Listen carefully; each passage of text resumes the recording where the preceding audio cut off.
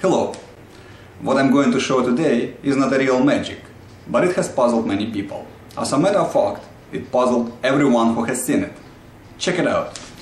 Here's a regular rubber band. It's stretchy, right? And it's absolutely normal, regular. Here, I'm hanging the rubber band over my thumb and tangle it over my index finger and put it back on my thumb. So we have two loops over my thumb and two loops over my index finger. Now I hold my thumb firmly with another hand and you can see there is no way to take the rubber band off my thumb because I hold it. Watch it. Abracadabra, baram boom, and the rubber band went through the thumb. The thumb is intact, the rubber band is not broken either. Neat, isn't it? How do I do it? The answer is simple by magic. And yes, you may find out how we do magic at www.fewdoit.com. Have fun!